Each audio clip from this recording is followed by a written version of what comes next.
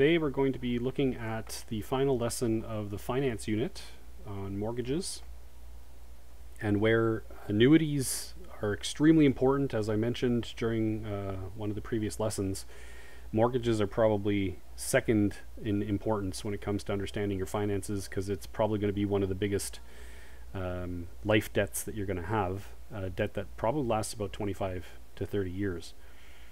So understanding a little bit of the math involved in how to calculate a mortgage is just going to give you a little bit more confidence when you walk into a bank for the first time to ask for a loan for uh, to buy a house.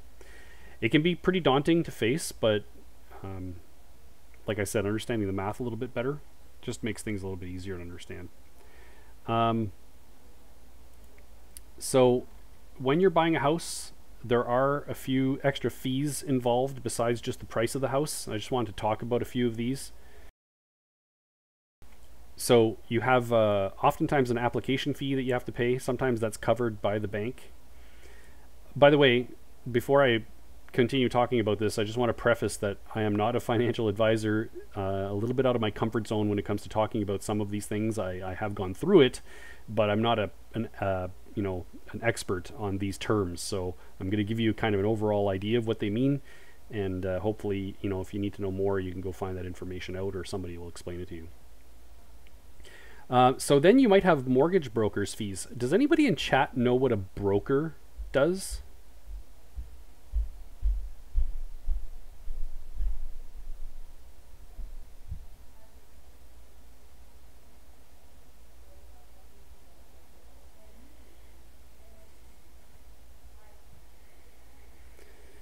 So I'm not seeing any answers. Um, so a broker basically,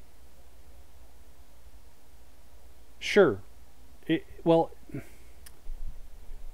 I need something a little bit more specific than that. So basically, what it is is a person that you're hiring to try to find the best price for you. Uh, um, so you're trying to, let's say you wanted to buy a car. I'm terrible at haggling for prices. You could actually hire a mortgage broker and they'll haggle for the price and therefore i mean you won't get the best price on the vehicle if you were to do it yourself but you'll get a better price on the vehicle that if you're not good at haggling paying them to do that for you. So that's what basically a mortgage broker would do is they would find the best um, uh, mortgage fee or price for you. You're going to have legal fees. You're going to have to hire an attorney the attorney is going to look into things like are there any um, issues with the property of the house? For instance, are there any liens on the house? So a lien uh, is basically. So I'll give you an example. There are very specific rules as to where you can build a fence, for instance. If your fence is on your um, neighbor's side of the lot line, that fence actually belongs to the neighbor if the fence straddles the lot line or you know maybe zigzags across the lot line there could be issues there when it comes to like wanting to fix the fence or replace the fence. Um, if somebody builds a shed a little bit too far on the on the properties of the uh, you know of a city or even a, of a neighbor then that could be a lien on the property. So those are the kinds of things that um, a lawyer is going to look into. Another thing they're going to look into are there any easements and an easement is usually, and again, I'm not an expert at this, but my lot has an easement with Bell Canada where there's um, phone lines running underneath the ground on my lot at the back of my property. And therefore, that technically isn't my property. I can't dig back there because if I cut through their lines, then I could be cutting off the service uh, for some of the neighbors down the street. So, easements are another thing that you'd want to be interested in uh, when you're about to buy a house. There's going to be land transfer taxes. You could pay for a home inspection. A home inspection is hiring somebody, price is usually about $500, to come into your house and they, they take a look at very specific things. Are there any cracks that are visible in the foundation? Uh, is there the right amount of um, um, insulation in the attic? Um, now they can they can't do a lot of things that have to do with like behind the walls. Uh, they won't break through the ceiling or anything like that, but they can look at some of the more obvious things and see if there's any issues and let you know. And what's nice about it, even though you're paying a hefty amount of money for it, they do warranty their work and their uh, their um, investigation of your house for a little while. So at least it gives you a little bit of peace of mind. And the last thing you might have to pay for is the uh, CMHC uh, fee, which is usually an insurance against going bankrupt when you're paying back your house. You have to put down a down payment on a house before you buy it. It's between 5 and 20% of the house usually. If you only put down the minimum amount, they probably will ask you to pay for this insurance because it's kind of showing that you may have a difficulty uh, paying the rest of the house off if you don't have a fair, uh, uh, you know, a big enough down payment. So, um, and down payment is just a sum of money that you're going to drop on the mortgage itself to try to bring it down before you start paying it off. So the bank likes to see a high, a high enough uh, deposit. I'm not sure exactly what the number is to tell you the truth, but it's around, I believe it's around 15, 20%. And then you wouldn't have to pay for anything underneath that, you'd have to pay for that insurance. So what we're going to do to investigate how a mortgage is paid off, well, let's first talk about what an amortization is. An amortization is, as you can see here, the gradual elimination of a liability. And what happens is you pay regular payments off on this liability, but it's been pre-calculated that those payments cover the interest more than they cover the principal at the beginning. And as the life of the um, amortization, you know, goes on, you'll be paying less and less of the interest and more and more of the principal. And that's because the bank wants to get their amount of money first. Okay? So uh, they, they make sure that the payments that you're putting in the bank are going to pay off the interest before they pay off the actual value of the house. So we're going to use a table to investigate that. And I'm going to quickly move over to a spreadsheet, but uh, I'm going to show you a few little calculations on paper here first. So we're going to do two different cases the first case, we're going to look at a scenario that's pretty similar to the types of investments that we've been looking at recently, which is compounded monthly and paid monthly. The problem is, and you're going to see this in a few minutes, a Canadian mortgage doesn't work that way. A Canadian mortgage is actually compounded semi-annually and paid monthly, and that means the math gets a little bit messed up, and we have to do a little few a few little things to fix it. So I'm not going to do that example first. I'm going to do this one first. So this one's compounded monthly paid monthly, all right? Um, and if it's compounded monthly, if you take a look at the interest rate here, so the mortgage the mortgage amount is $112,450 and the interest amount is 12%. So 12% compounded monthly is 0.01 interest uh, times your principal every month. A little bit of a caveat here. Um, that interest and uh, mortgage payment are probably not reflective of today's numbers. Uh, this note goes back quite a few years, and I just haven't updated it recently. Um, but uh, $112,000, 450 for a house, pretty low mortgage unless you're living in a very small house or in an urban uh, or sorry rural area. And 12% interest for the interest on a house payment right now is pretty high. They're closer to three, four percent right now. But it doesn't matter what the numbers are. The math all works out anyway. So we're just going to use that example. Uh, so 0.01 is our interest amount. So here's what the table looks like. So if you take a look at the uh, titles in the columns, you've got your payment number, which is basically counting up how many months have gone by. You've got your monthly payment amount. Now this amount, I want you to notice right off the bat, doesn't change. This is a calculated value, and I'm going to show you how that value is calculated in the second example because I actually have the tables for those. Um, I can't even actually remember where I got this number, but I want you to notice that the number doesn't change. So that was calculated by the bank to make sure that after 25 years, this has been paid off fully, both in interest and in the principal. Your interest portion, your principal portion, and your principal remaining and I want you to notice that your principal remaining starts with your original mortgage. So that's your original amount that you borrowed. Okay. Um, so here's how this table works. And it's a little bit complicated, so I'm going to use color to try to help us see what's going on. The first thing you'd want to do, and I know this number is here. Actually, let me use a different color than green here. I know the, the number is already there, but where did this number come from, this interest portion? Well, this interest portion comes from your interest calculation of p times rt, which we recently changed to p times i, because t is equal to 1, okay? So our I is 0.06, right? Uh, sorry, 0.01, my mistake.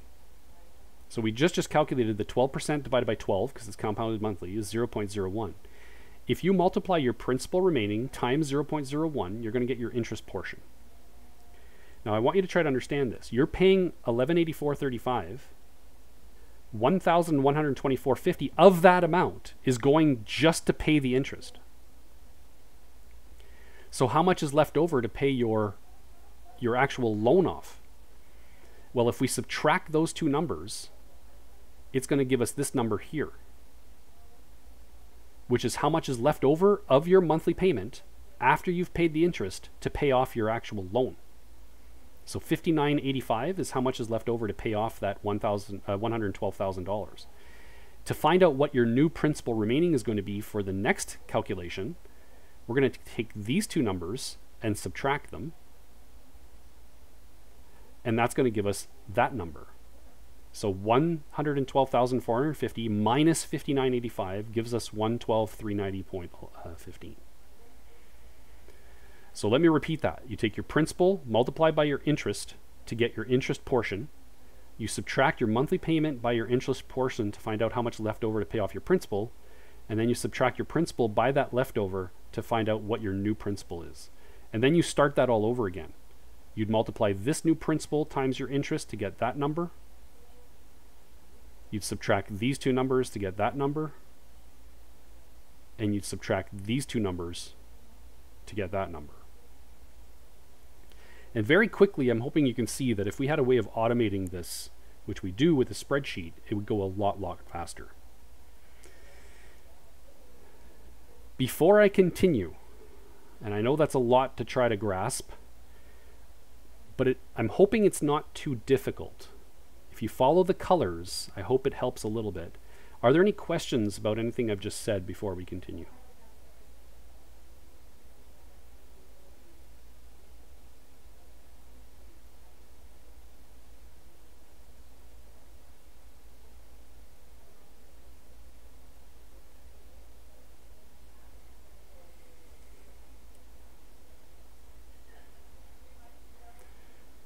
Okay, I'm not seeing any questions, so let's keep, keep going. We're going to be looking at another table like that very soon anyway, and I'm going to be doing it on a spreadsheet, which, you know, I'm going to take my time and explain how everything works again. But before we do that, I, I now want to start talking about a Canadian mortgage. And the issue with Canadian mortgage is that all the way along so far when we've been doing finance questions that have been compounded, if we if we are paying monthly, we are compounding monthly. If we're paying weekly, we're compounding weekly with our annuities specifically. Canadian mortgages are weird because they are compounded semi annually but paid monthly. So those two things don't match. Usually they do. If you're compounding semi annually, usually you'd be paying semi annually, but that's not how a Canadian mortgage works. So we need to do a few, uh, one major calculation first before we start using our Canadian mortgage. And this is the only thing that changes with the previous example we have to calculate an equivalent monthly interest rate, which I like to describe as a fake interest rate that instead of doing semi annually, does basically the same thing but converts it into a monthly payment. So that's the biggest thing. The next thing I'm going to show you as well after I've done that is how did we calculate that monthly payment that the bank comes up with that doesn't change for the 25 years. So let's start with the equivalent interest rate. We're going to use the exact same mortgage, but instead of doing 12% uh, compounded monthly, we're now doing 12% compounded semi annually, which means divided by 2, which means 0.06. Okay? Well, here's the formula that's going to change that semi annual to a monthly fake faked version that works with our math. All right?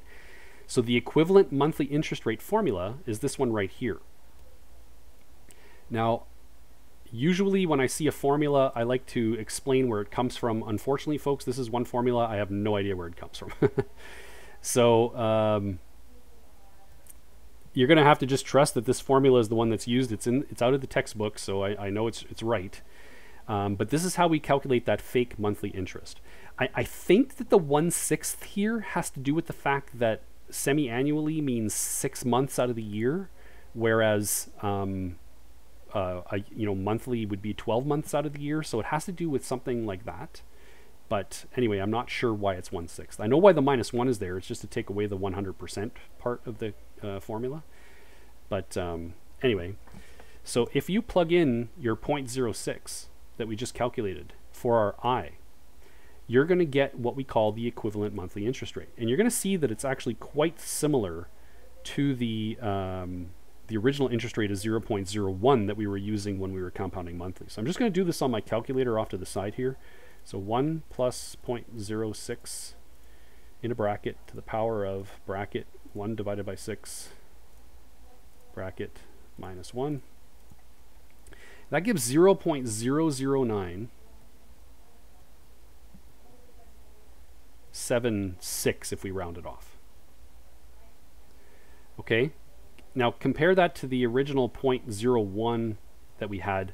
It's very close, but it's different enough that it it makes up for the fact that we are not doing this semi-annually. We're actually going to be doing it monthly, but it's going to basically give us the same result.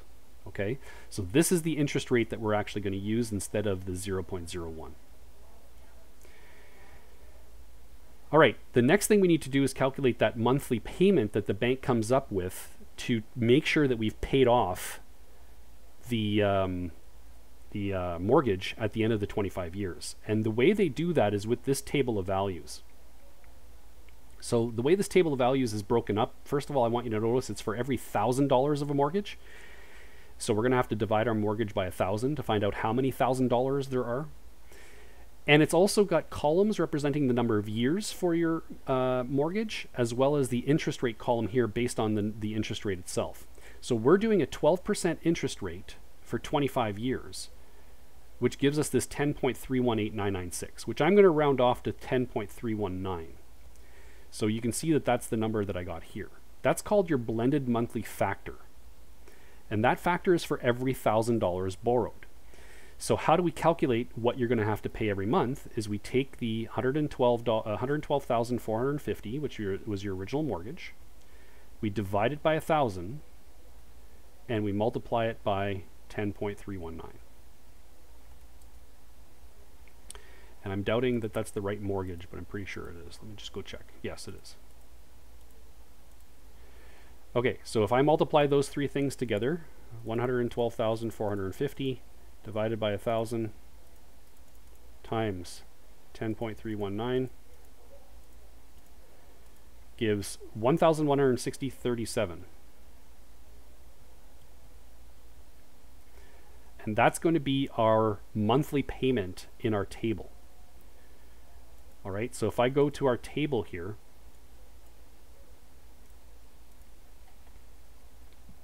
all the way down this monthly payment section here.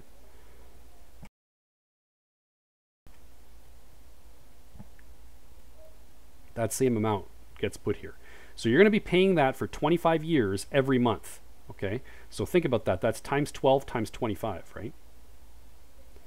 So we could actually calculate how much we're going to pay for this house right now by multiplying it by 12 and then by 25, but we'll come back to that.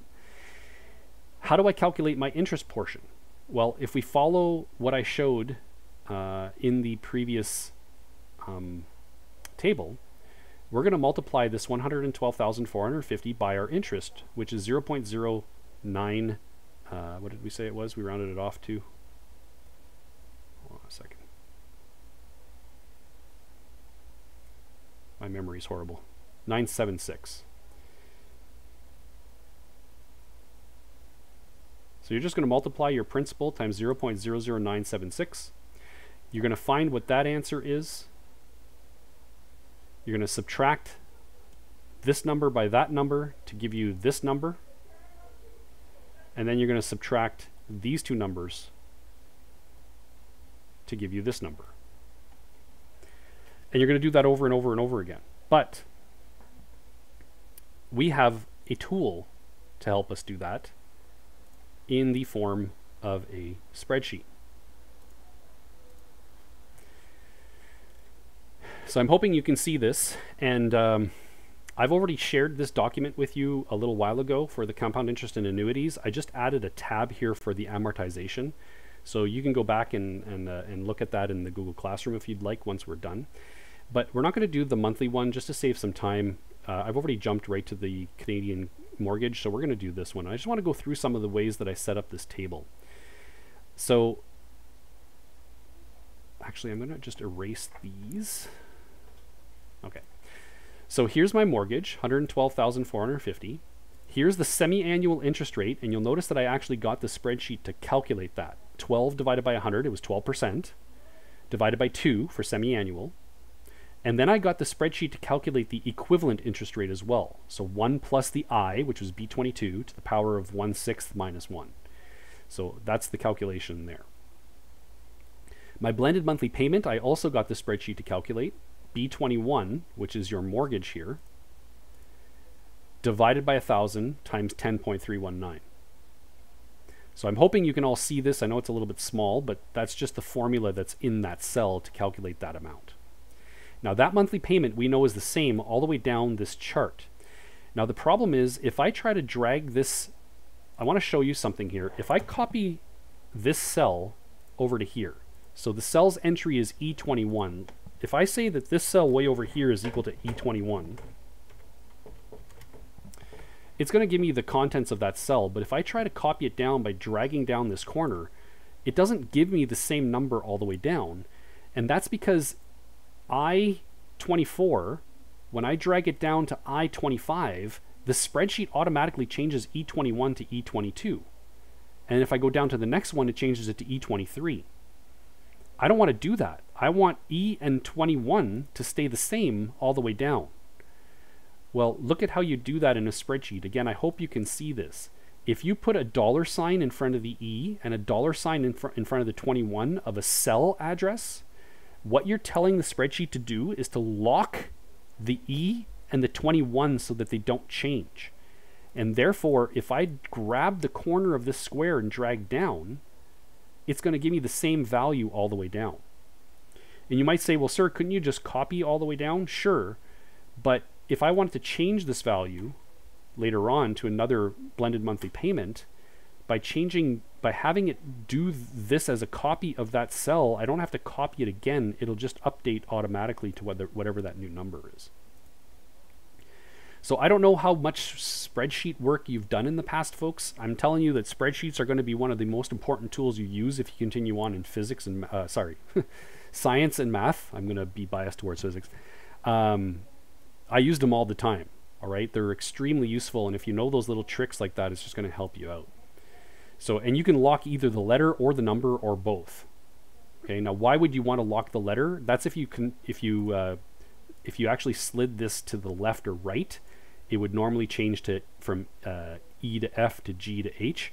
But um, if you lock the letter, then it stays at E as well. Okay, so let's do all of the math that I showed you on the table uh, on paper here in the spreadsheet. So how do we calculate our interest portion? Well, we take the principal, which is G25, and we multiply that by our interest, which is our B23. And I don't want B23 to change because it's going to be multiplying the same interest all the way down this table. So you'll notice that I locked the B and the 23 in place by putting the little dollar signs in front of them as well.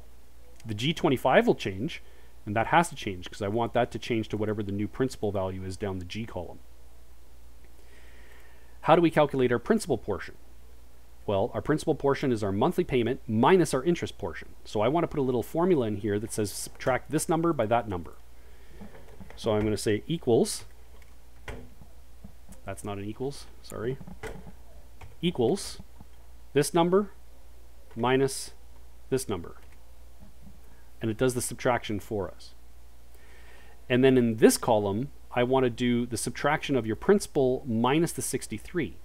So I'm going to write equals that column minus that column, or that cell, I should say. And now it's done all of the calculations for us in those first few cells. And what's nice is if I now go to the corner and drag down, it's going to fill in all of those values for me.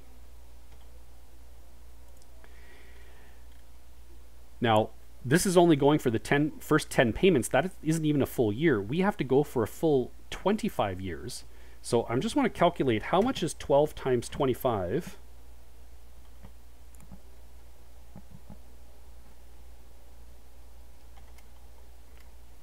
So that's 300. So I have to go 300 rows down with this, right? So I'm going to select just the first, the last four rows here so that I have the pattern of 7, 8, 9, 10 changing here. And I'm going to drag that all down and see what's happening.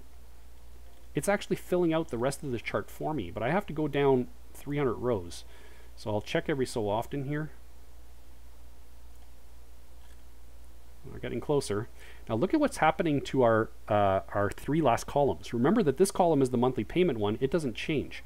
But this was the interest portion, and this was the principal portion. See how the interest portion keeps going down, but the principal portion keeps going up. And again, this is the bank making sure that they're going to get the majority of your money as interest before you start paying off your principal.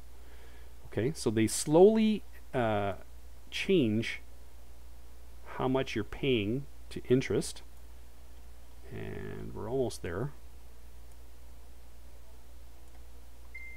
Oh, I went a little too far. So there's our 300th payment. I'll just delete these cells. And at the 300th payment, we've got $11.21 left to pay off. We're doing a little bit of overkill here. Um, sorry, we have uh, 1,148.27 to pay off. My mistake. We're paying 1,149.17, so we're going just a little bit below zero. But that's the date where we're going to finish paying off that mortgage. And again, look at how the interest payments at the very end get smaller and smaller and smaller. And now we're almost fully paying off the principal of our loan by the time we're done paying off the loan. And that's how an amortization table works. Now this also allows us to calculate how much money are we actually going to pay for this house. Since we're paying 1160.37 every month for 300 months, we can multiply 300 by that value.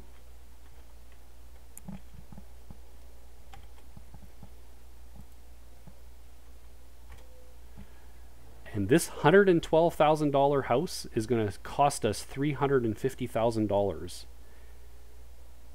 at 12% interest. And this is why people try to get the shortest possible mortgage. Or if they can double up on payments every month, uh, sometimes they'll try to do that. But the quicker you pay off that principal, the less interest you're going to pay. I mean, that's all. That's like what is that? Three times the amount of the house.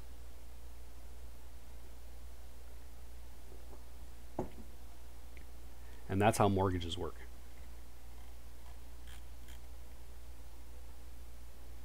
And that, ladies and gentlemen, is the last lesson that's going to be done live for this year. Yeah, and uh, like I said, house uh, house prices here are. Uh, chat just mentioned that house prices today are a lot more than this, and but the nice thing is interest is lower, but still, yeah, your house prices are are quite a bit higher. So here's what I'd like to do. I'm actually going to stop recording because that's the end of the finance lesson.